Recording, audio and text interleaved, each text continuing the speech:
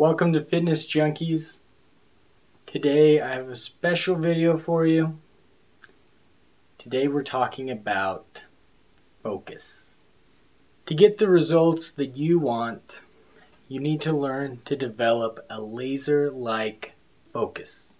I'm going to be putting this video in my article Form, Focus, and Consistency on FitnessJunkies.com. If it's not there right now, don't worry, it will be soon. Form, focus, and consistency all work together. It's important to focus when working out. The more mental energy that you have that is aimed towards what you're doing when you're working out, the better your body will respond to what you're doing. This may sound obvious and it may sound ridiculous, but it's easy to get distracted when working out.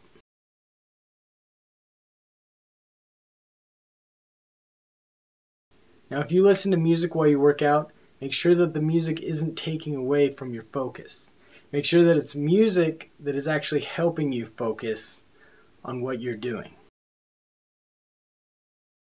Personally, I don't like to work out with mirrors.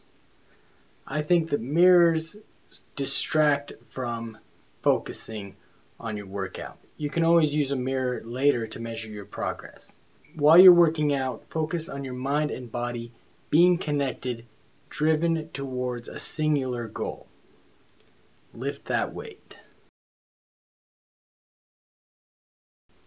One way to improve your focus is to pre-visualize your workout. Maybe take five minutes to meditate, or maybe just think about it on your way to the gym, turn off the radio, think about the upcoming workout, think about what you're going to do and how you're going to do it. For more fantastic fitness videos, subscribe to this channel.